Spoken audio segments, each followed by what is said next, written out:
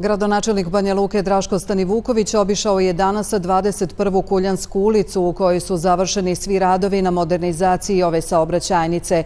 Iz gradske uprave najavljuju nova ulaganja u ovo Banja Lučko naselje. Asfaltiranjem 270 metara završena je rekonstrukcija 21. Kuljanske ulice u istoimenom Banjalučkom naselju. Mještani iz 28 domaćinstava, koliko ih trenutno broji ova ulica, od sada će imati lakši pristup svojim kućama.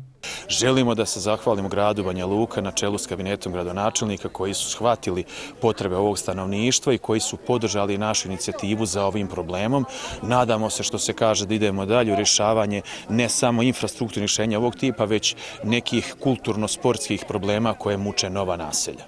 Za modernizaciju 21. Kuljanske ulice grad Banja Luka izdvojio je oko 30.000 maraka koje smo pronašli u budžetu na način da su u gradskoj upravi, zahvaljujući novoj gradskoj administraciji, pronađene mnoge e, stavke na kojima se e, može da štedi. E, to su službena vozila, to su telefoni zaposlenih u odjeljenjima, u kabinetu gradonačelnika, Gradonačelnik Banja Luke obećava pomoć za kuljane i u narednom periodu.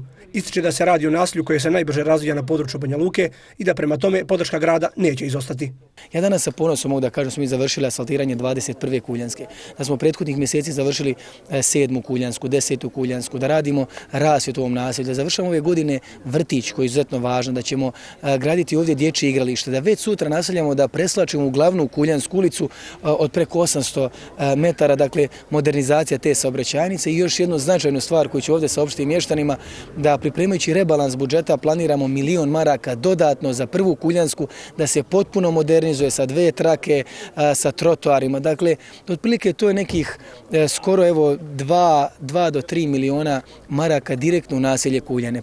Iz gradske uprave poručuju da je prethodnih godina pomoć za kuljanje bila mizerna i da neće dopustiti da oko 2500 domaćinstava, koliko trenutno živi u ovom naselju, budu zapostavljeni i zanemareni od strane nadležnih gradskih institucija.